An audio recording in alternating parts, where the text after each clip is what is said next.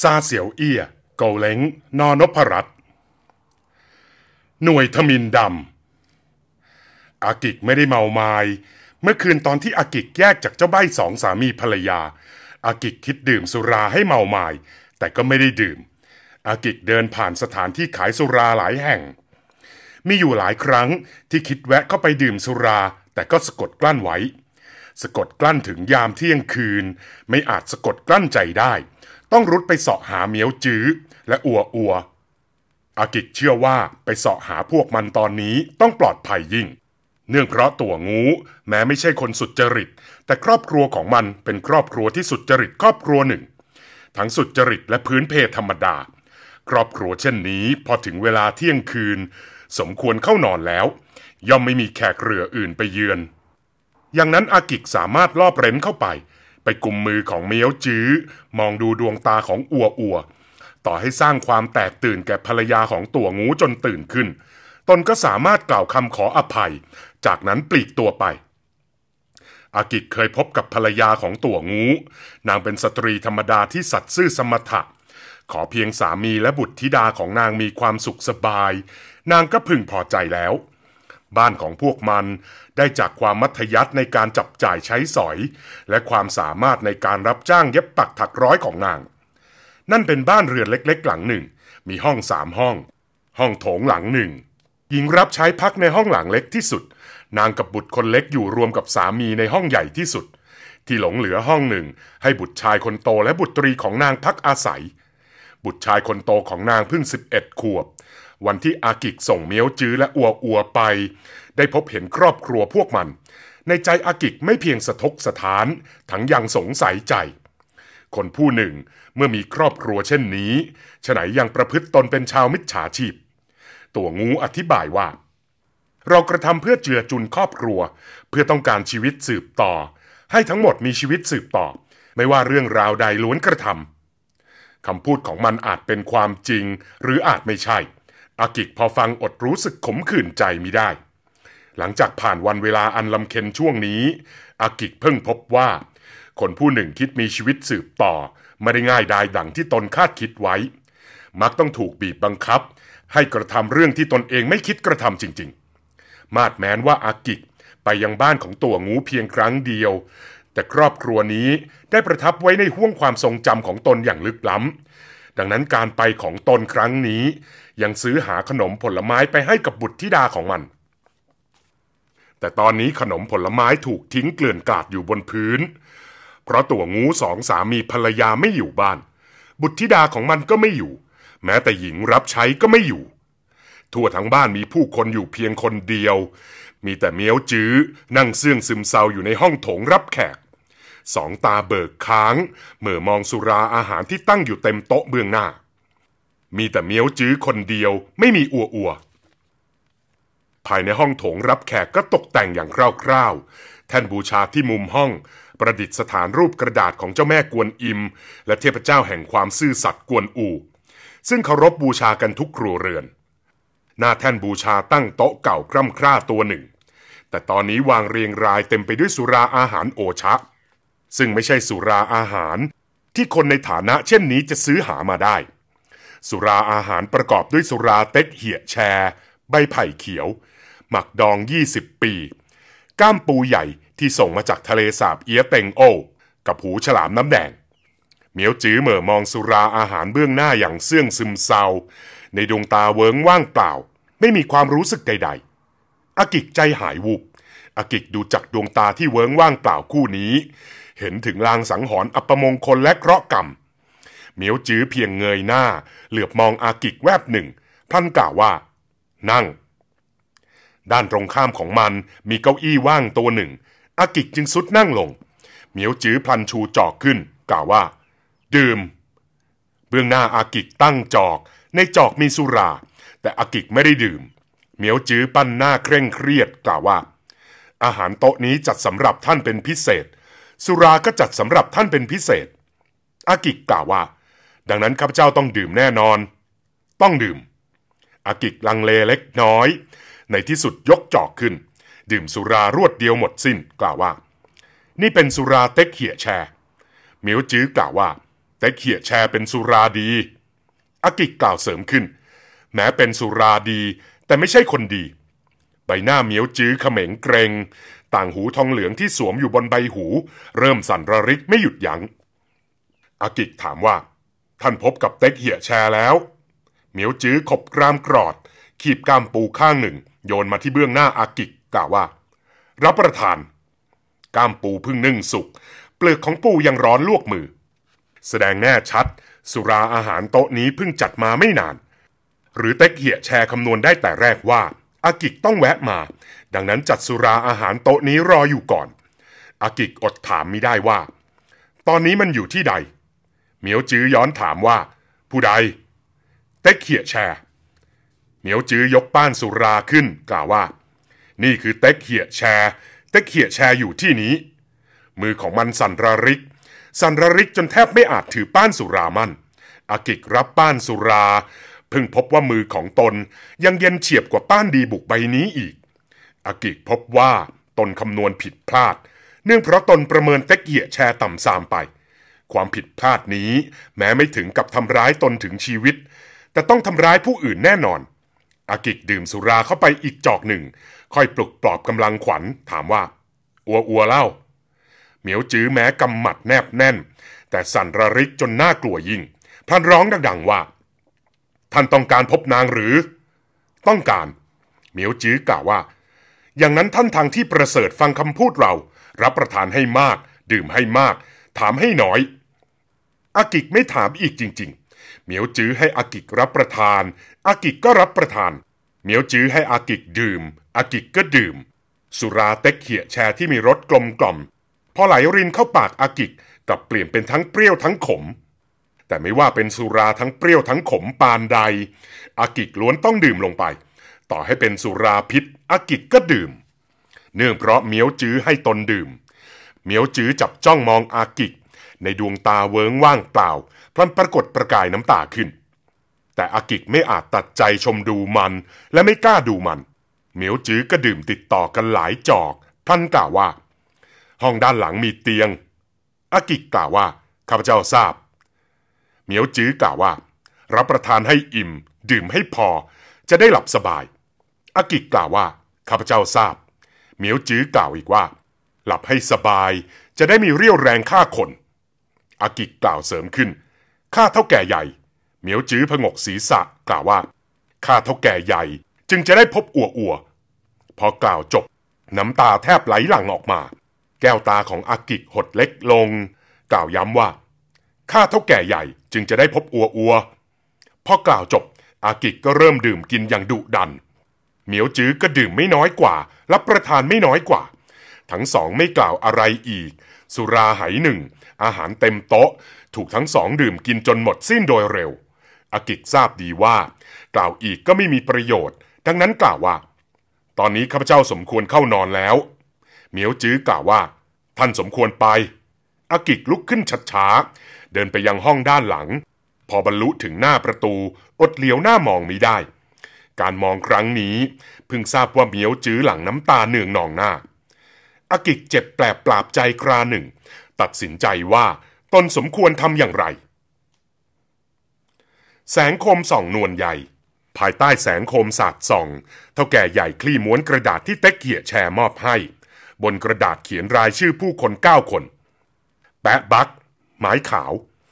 สิทธิสำนักบูตึง หลังจากถูกอัปเปหิจากสำนัก ยังชมชอบสวมชุดพรตสะพายกระบี่ ร่างสูงหกเชี้ยแปดนิ้ว ใบหน้าเหลืองรูปร่างผอม หางคิ้วมีไฝเม็ดหนึ่ง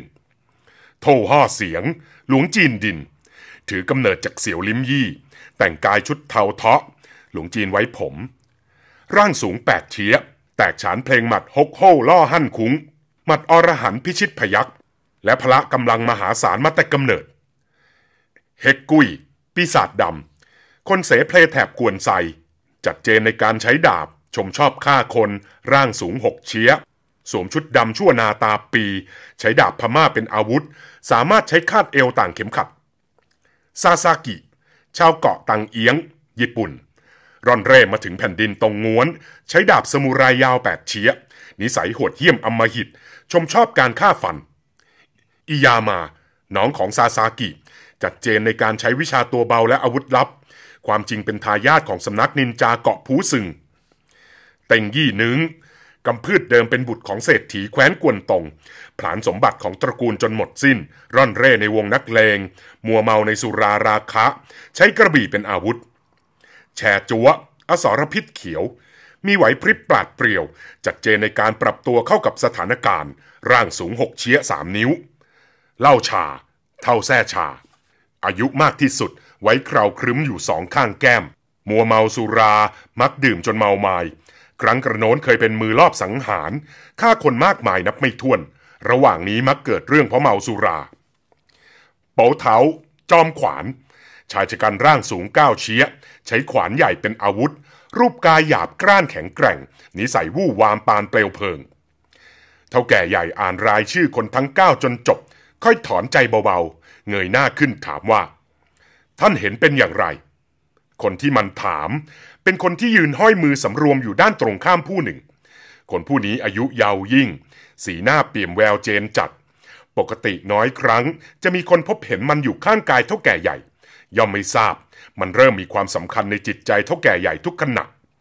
ดังนั้นทุกคนล้วนเรียกมันเป็นเซี่ยวตี ตีน้อย มันเองก็คล้ายลืมชื่อดั้งเดิมไปแล้ว มันน้อยครั้งจะเอ่ยปาก มีแต่ตอนที่เท่าแก่ใหญ่ถามมัน มันค่อยเอ่ยปาก มันกล่าวว่า ดูท่าคนทั้งเก้าล้วนเป็นมือดีในการฆ่าคน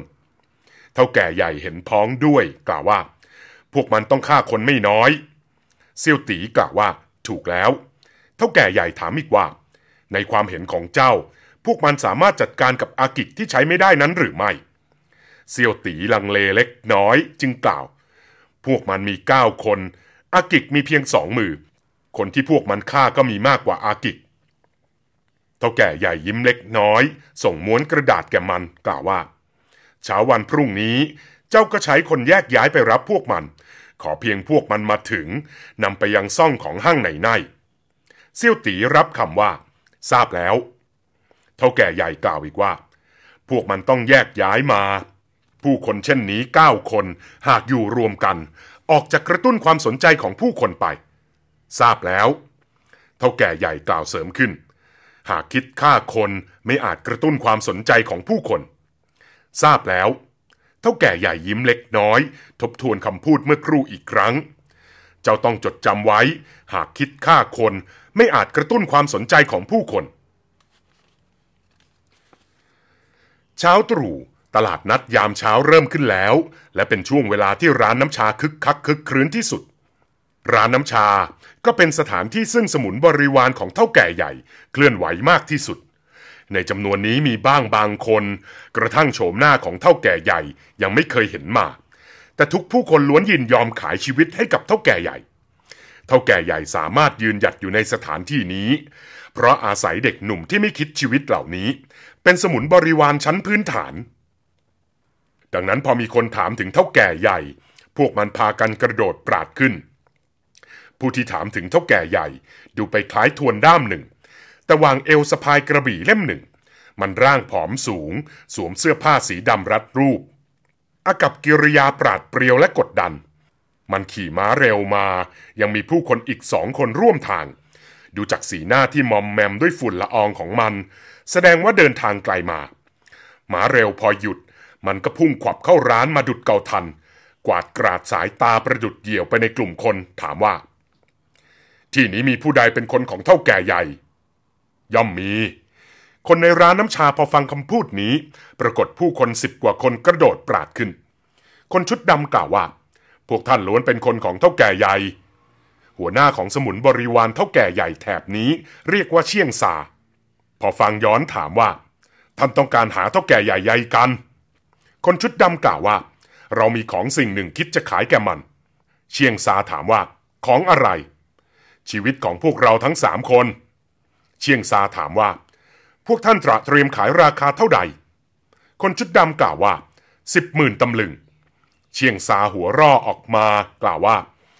สามชีวิตคิดสิบหมื่นตำลึงไม่แพง ความจริงก็ไม่แพง เชียงซาหน้าเคร่งเครียดลงกล่าวว่า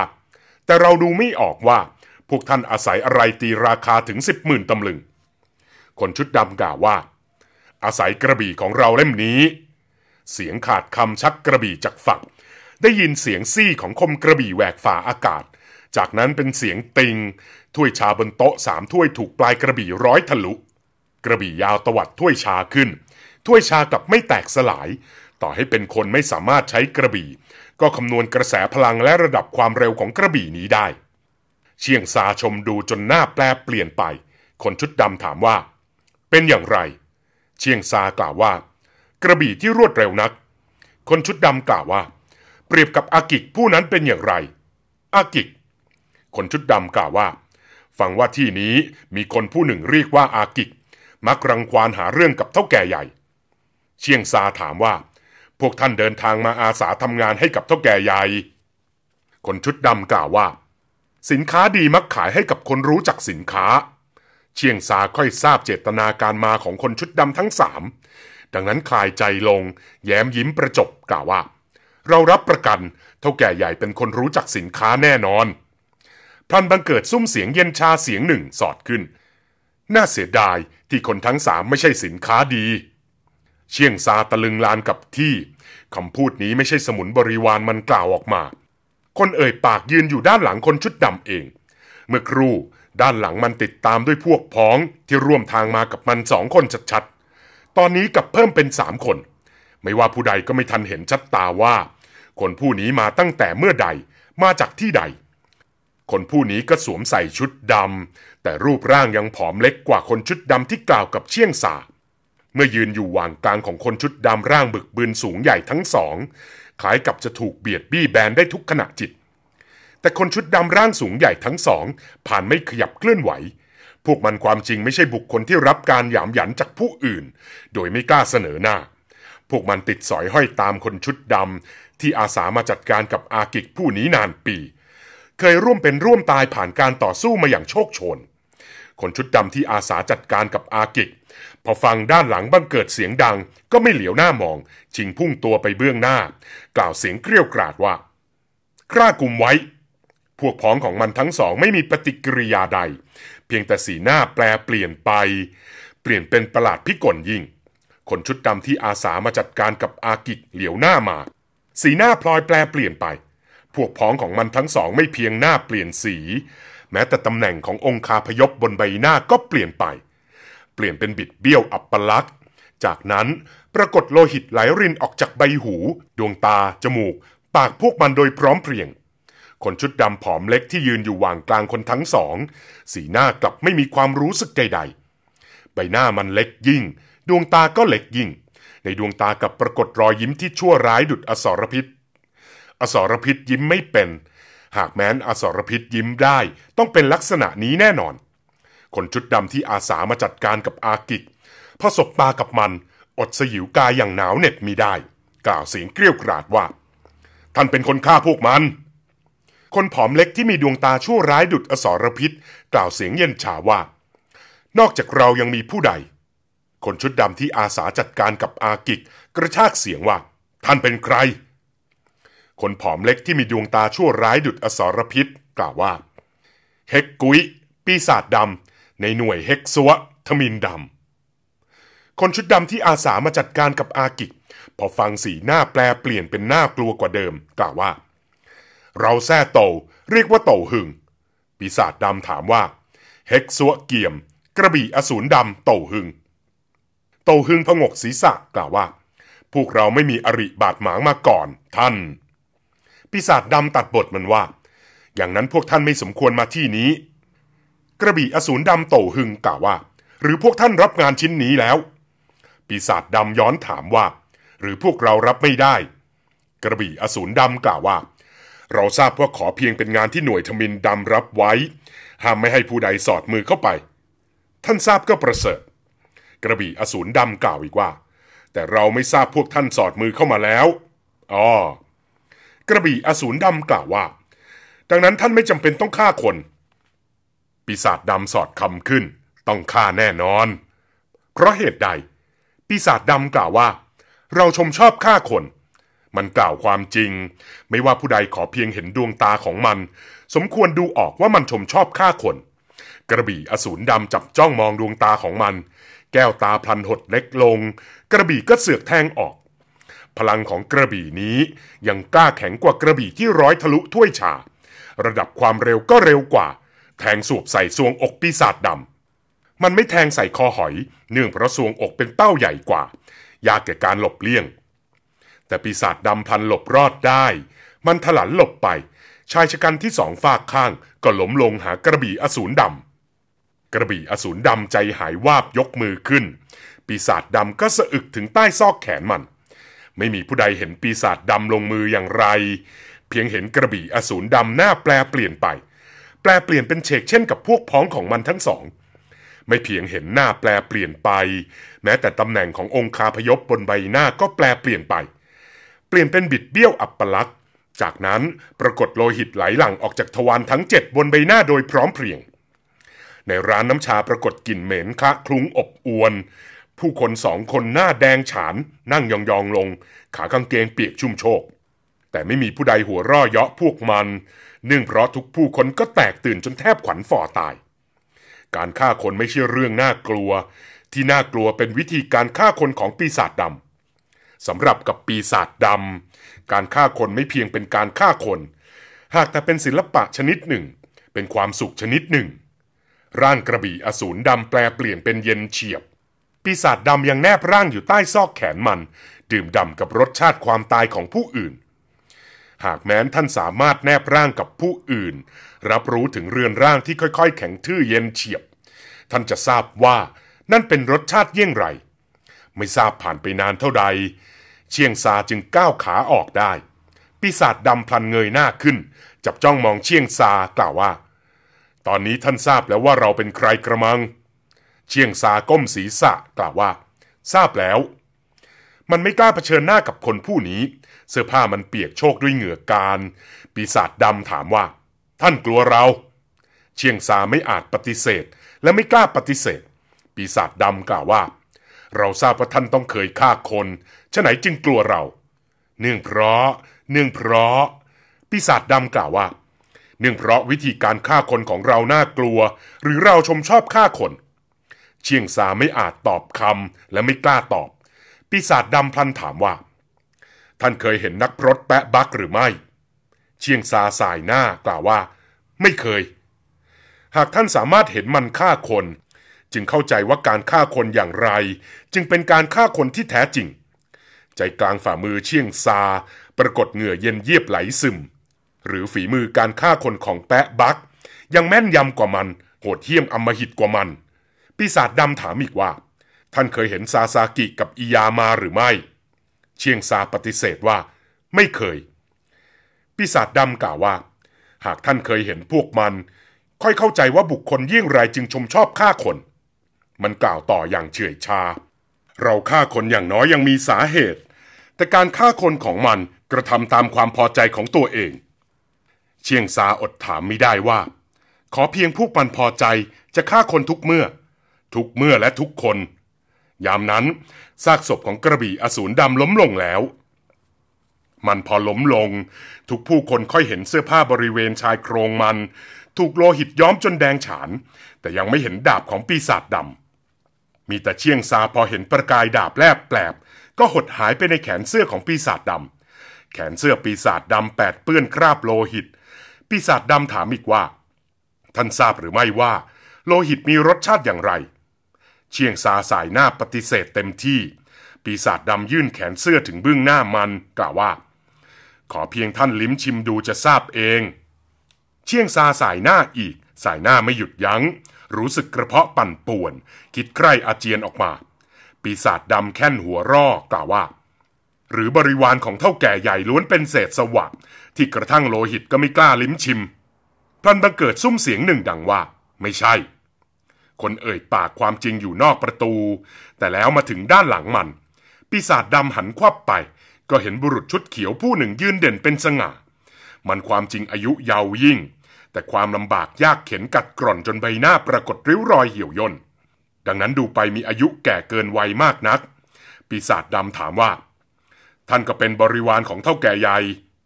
คนผู้นั้นกล่าวว่า เราเป็น เราเรียกว่าเซี่ยวตี ปีศาจดำถามว่า ท่านเคยลิ้มชิมว่าโลหิตมีรสชาติอย่างไร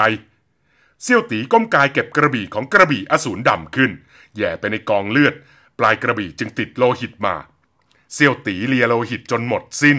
พลันปาดกระบี่ใส่แขนซ้ายตัวเอง กรีดเป็นบาดแผลสายหนึ่ง โลหิตพอไหลหลั่งออกมา มันก็จ่อปากไปดูดดื่ม จากนั้นเงยหน้าชัดช้ากล่าวด้วยสีหน้าเป็นปกติไม่เปลี่ยนแปลว่า โลหิตของคนมีรสเค็ม โลหิตของคนตายเค็มจนขม ปีศาจดำอดหน้าแปลเปลี่ยนไป กล่าวเสียงเย็นชาว่า เราไม่ได้ถามท่านมากมายปานนี้ เซียวตีกล่าวว่า หากคิดกระทำเรื่องหนึ่งต้องกระทำอย่างเป็นจริงเป็นจัง ปีศาจดำกล่าวว่าคำพูดนี้เป็นผู้ใดกล่าว เท่าแก่ใหญ่กล่าว ปีศาจดำพันเปล่งเสียงหัวร่อกล่าวว่า ประเสริฐมาก สามารถทำงานกับคนเช่นมัน การมาของพวกเราครั้งนี้ก็ไม่เสียเที่ยวเปล่าแล้ว เซียวตีน้อมกายกล่าวว่า อย่างนั้นโปรดตามข้าพเจ้ามา มันหันกายเดินออกไป คนในร้านน้ำชาล้วนมีสีหน้าเคารพนับถือมัน มีแต่ดวงตาของเชี่ยวซา ทอแววละอายและเจ็บปวดรวดร้าว มันทราบว่าชีวิตการทำงานของมันสิ้นสุดแล้ว เวลาเช้า สับสำเนียงในตลาดนัดพลันเงียบสงบลง ได้ยินเสียงลากเกียร์ไม้เตาะแตะเตาะแตะดังมาแต่ไกล คนสวมเกียร์ไม้สูงห้านิ้วสองคน เดินสายอาดอาดมา เป็นชาวเกาะผูซึง ญี่ปุ่น ที่เรือนผมยุ่งเหยิง หน้าตาโหดเหี้ยมดุร้าย สวมชุดละหลวม แขนเสื้อกว้างใหญ่สองคนหนึ่งในสองเสียบดาบซามูไรยาวแปดเชี้ย อยู่บนสายรัดแพรกว้างเจ็ดนิ้วเล่มหนึ่ง แต่มือทั้งสองกลับซุกอยู่ในแขนเสื้อ อีกผู้หนึ่งสวมชุดดำ ใส่เกียร์ดำ แม้แต่ใบหน้าก็เป็นสีดำมาเมื่อม ดูไปยังลี้ลับหน้าสะพรึงกลัว ซาซากิกับอิยามาก็มาแล้ว ชาวเมืองทุกคนพอพบเห็นพวกมันล้วนปิดปากสนิท มาดแมนไม่มีผู้ใดรู้จักพวกมัน แต่ทุกผู้คนล้วนสามารถสัมผัสกับกลิ่นอายฆ่าฟัน อันที่แฝงมากับพวกมัน แม้แต่เหล่าทารกก็รู้สึกได้ สตรีสาวเรือนร่างสมบูรณ์นางหนึ่งกำลังอบอุ้มทารกห้าเดือนของนาง เดินออกจากร้านสุยเต็กเสียง ร้านสุยเต็กเสียง เป็นร้านขายแพรพันธุ์ที่ใหญ่โตร้านหนึ่ง สตรีสาวนี้เป็นภรรยาของบุตรชายเท่าแก่ ซึ่งเพิ่งแต่งงานไม่นาน เพิ่งผ่านช่วงเวลาที่บันเจิดสวยงาม คล้ายกับที่ดินซึ่งอุดมสมบูรณ์เพิ่งผ่านการพร่างพรมจากสายฝนฤดูใบไม้ผลิซาซากิกับอิยามา พอแลเห็นนางถึงกับตาเบิกขังซาซากิกล่าวว่า ผู้หญิงที่สวยงามนักอิยามากล่าวว่า ผู้หญิงที่ดีเยี่ยม สตรีสาวความจริงกำลังหยอกเย้าทารกในอ้อมอก พอพบเห็นพวกมัน ใบหน้าที่แดงเปล่งปลั่งดุจผลแอปเปิลแปลเปลี่ยนเป็นซีดเผือด ซาซากิพลันโถมเข้าหานาง ผู้รับใช้ในร้านแพรพรรณผู้หนึ่ง รีบสะอึกกายแย้มยิ้มแก่มันเป็นเชิงประจบ มันไม่ทันเอ่ยปาก ประกายดาบแลบแปลบ แขนซ้ายของมันก็ถูกฟันขาดสะบั้นเด็กทารกแตกตื่นจนร้องไห้จ้า สตรีสาวก็แตกตื่นจนเข่าอ่อนระทวย ในมือซาสกิยังถือดาบซามูไร คมดาบยังแปดเปื้อนคราบโลหิตเสยะยิ้มกล่าวว่า ผู้หญิงไม่ต้องกลัว เราชมชอบผู้หญิง มันตระเตรียมโถมเข้าหานางอีก ครั้งนี้ไม่มีผู้ใดกล้าขัดขวาง แต่แล้วสายรัดเอวของมันถูกอิยามาฉุดดึงไว้ พับศอกกระทุ้งวูบ ร่างของซาสกิก็ปลิวละลิ้วไปอิยามาเปล่งเสียงหัวร่อกล่าวว่า ผู้หญิงเป็นของเรา ท่าน ไม่ทันขาดคำซาสกิก็ตีลังกากลางอากาศ ฟันดาบลงมา ดาบนี้ทั้งรวดเร็วทั้งดุดัน ทั้งแม่นยำเป็นเพลงดาบเง่งห่วงเจ็กต่อจำ ดาบพายุประหาร ที่มีอนุภาพรุนแรงที่สุดในเพลงดาบสมุไรของญี่ปุ่น คล้ายคิดฟันตีตีของมันเป็นสองเสียงในดาบเดียว คนผู้นี้คิดฆ่าคนทุกเมื่อ มีหนำซ้ำคิดฆ่าทุกผู้คนจริง ๆ แต่อิยามาก็ไม่เลวกลิ้งตัวตามพื้นดิน กลิ้งหลบจากคมดาบ ตวัดมือซัดอาวุธลับรูปดาวกระจายสีดำออกสามดวง อาวุธลับที่ใช้เป็นอาวุธลับประจำสำนักนินจา มันสองพี่น้องกลับหักหานผลาญชีวิต เพราะแก่งแย่งภรรยาของผู้อื่นซาสกิฟันดาบสมุไรดังขวับเขียว ทุกดาบล้วนจู่โจมใส่จุดชีวิตของอิยามาท่าทางของอิยามายิ่งประหลาดพิสดารกลิ้งตัวตามพื้นดินซัดอาวุธลับนานาชนิดออกไม่หยุดยัง้ง พลันได้ยินเสียงติง ดาวกระจายสามดวงถูกฟันร่วงหล่น ดาบซามูไรก็ถูกปัดกระแทกเบนเบือน เห็นภายในวงเพิ่มนักพรตทั้งผอมทั้งสูง บนมวยผมเสียบปิ่นไม้สีขาวอันหนึ่ง มือถือกระบี่ทองเหลืองผู้หนึ่ง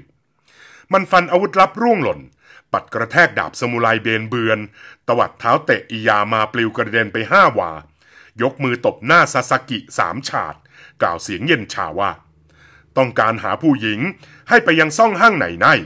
สตรีที่มีบุตรไม่ใช่ผู้หญิงอีก ชาวญี่ปุ่นที่ป่าเถื่อนดุร้ายทั้งสอง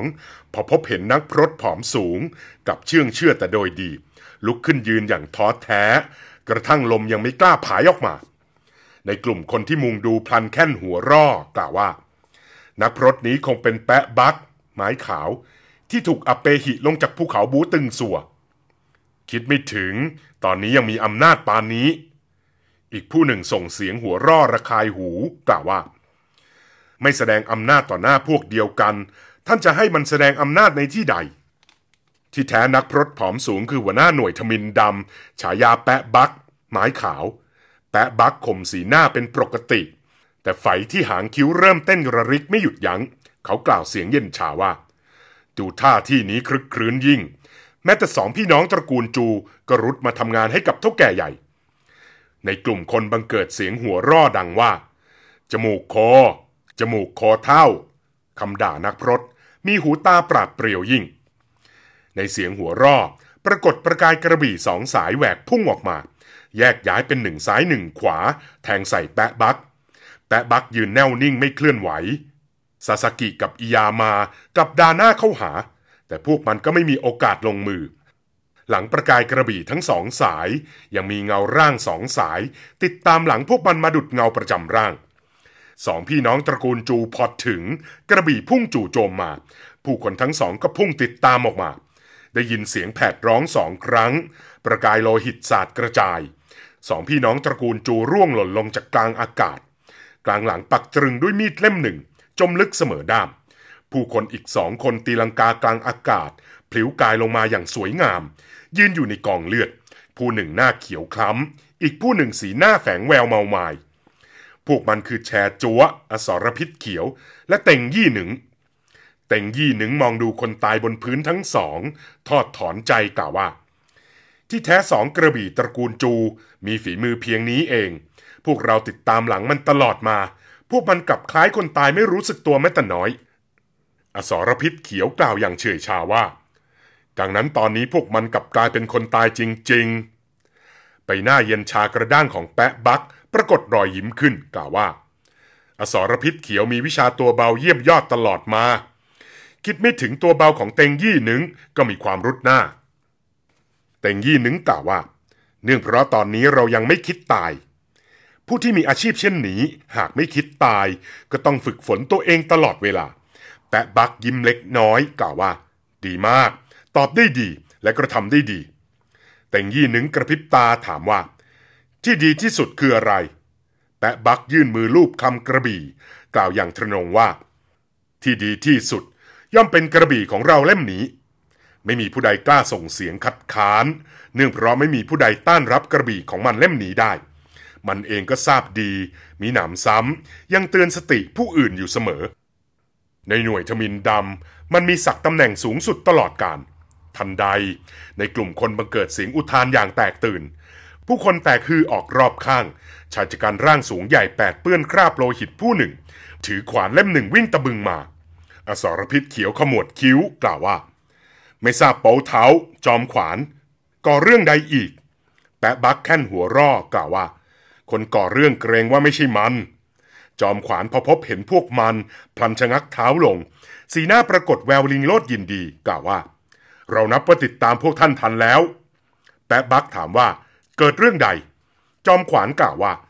เล้าชา เท่าแท้ชา เมาสุราอารวาส ต่อสู้กับผู้คุ้มกันภัยแถบมณฑลโอปักขบวนหนึ่ง แปะบักแค่นหัวร่อกล่าวว่า มันเป็นคนก่อเรื่องอีกจริง ๆ จอมขวานเล่าว่า ตอนที่เราประสบพบเห็นมันถูกฟันสองดาบ จึงสอดมือเข้าไป คิดไม่ถึงยังสู้ไม่ได้ ได้แต่บุกฝ่าเป็นทางโลหิตสายหนึ่งมาหากำลังหนุน แปะบักแค่นเสียงดังเฮะจอมขวานกล่าวว่า ผู้คุ้มกันภัยขบวนนี้ตึงมือยิ่ง ทั้งหมดหากไม่รุดไปช่วยเหลือ เกรงว่าเล่าฉาต้องตายแน่นอนแปะบักกล่าวเสียงเย็นชาว่า อย่างนั้นปล่อยให้มันตายเถอะ จอมขวานใจหายวาบ ถามโพลงว่า ปล่อยให้มันตายแปะบักกล่าวว่า ครั้งนี้พวกเรามาฆ่าคนไม่ได้มาช่วยคน กล่าวจบหันกายไปจริง ๆ ซาซากิ อสรพิษเขียวและพวกย่อมติดตามมันไป จอมขวานยืนตะลึงลานอยู่ครึ่งค่อนวัน ในที่สุดติดตามไป พวกมันฆ่าคนกลางถนน จากนั้นปลีกตัวไป ผู้คนบนถนนนับร้อยคนได้แต่เบิกตาดู ไม่มีผู้ใดกล้าตอแยพวกมัน เนื่องเพราะพวกมันมีบ้างไม่รักหน้า มีบ้างไม่รักชีวิต ยังมีบางคนทั้งไม่รักหน้าและไม่รักชีวิต จวบจนพวกมันจากไปไกล ปรากฏหลวงจีนไว้ผมร่างสูงใหญ่ มือถือไม้เท้าพระธรรม ที่หยาบเท่าไข่เป็ดรูปหนึ่ง สาวเท้าออกจากร้านสุรา ฝั่งตรงข้ามกับร้านสุยเต็กเสียง สตรีสาวนั้นเพิ่งระงับขวัญอันแตกตื่น วางร่างเด็กทารกลง นั่งหอบหายใจอยู่หลังคอกเสมียนพลันได้ยินเสียงโครม คอกเสมียนที่สร้างจากเนื้อไม้แข็งแกร่ง ถูกไม้เท้าพระธรรมของหลวงจีน หวดกระแทกพังทลาย จากนั้นหลวงจีนกวาดไม้เท้าพระธรรมฟาดขวาง พระกำลังยิ่งหน้าแตกตื่นกว่าเดิม ร้านแพรพรันที่มียี่ห้อยั่งยืนร่วม 300 ปี กลับถูกไม้เท้าพระธรรมของมัน ฟาดพังทลายไปในไม่กี่ครา ผู้รับใช้จำนวน 12 คนภายในร้าน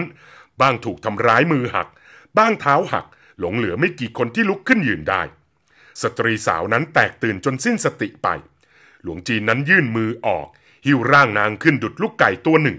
หนีบไว้ในซอกแขนก้าวยาวๆออกไป ทุกผู้คนเห็นความป่าเถื่อนดุดัน และพละกำลังของมันกับตา ยังมีผู้ใดขัดขวางมัน